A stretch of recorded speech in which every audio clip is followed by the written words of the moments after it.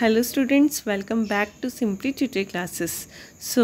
आज हम एक नई सीरीज़ स्टार्ट करने जा रहे हैं M D U M com के स्टूडेंट्स के लिए और हम जिस सब्जेक्ट को लेकर ये सीरीज़ बना रहे हैं, उसका नाम है मैनेजरियल इकोनॉमिक्स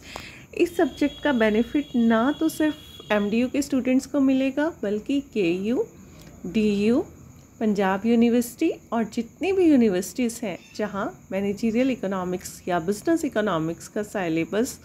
होता है, उन सभी स्टूडेंट्स को इसका बेनिफिट मिलेगा। तो आज जो हम डिस्कस करेंगे, वो डिस्कस करेंगे कि एम डी एम के सिलेबस में क्या क्या टॉपिक्स हैं, कितने यूनिट से ये मिलकर बनी है।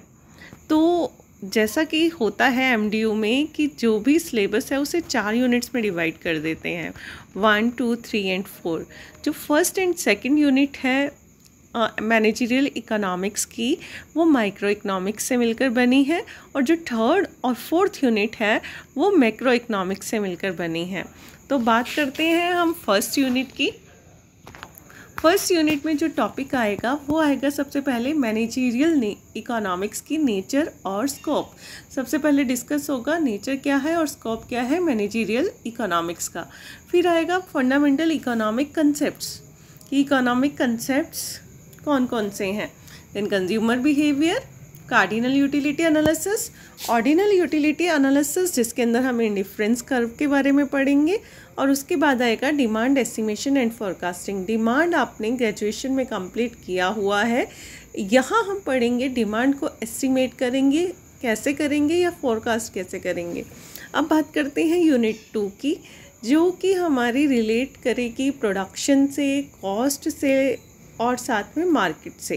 तो यहाँ पर आ जाएगा थ्योरी ऑफ़ प्रोडक्शन आइसोक्वेंट्स के बारे में पढ़ेंगे। Theory of cost behaviour of form under various market situation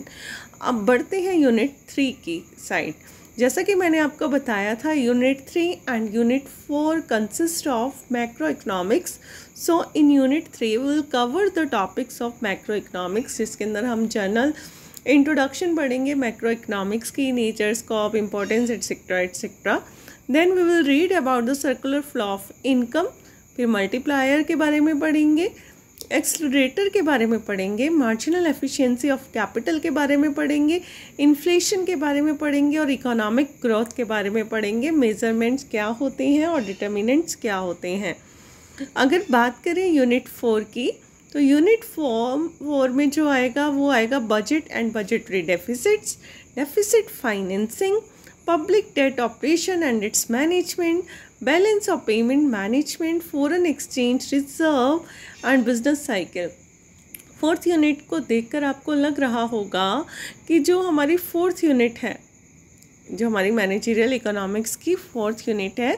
वो अगर आपने बिज़नेस एनवायरनमेंट सब्जेक्ट पढ़ा हुआ है पहले तो उस केस में आपके लिए बहुत इजी हो जाएगी क्योंकि आपको जाने पहचाने से टॉपिक लग रहे होंगे। ये जो अभी हमने डिस्कस किया, ये सिलेबस डिस्कस किया नेक्स्ट क्लास से हम डिस्कस करेंगे first part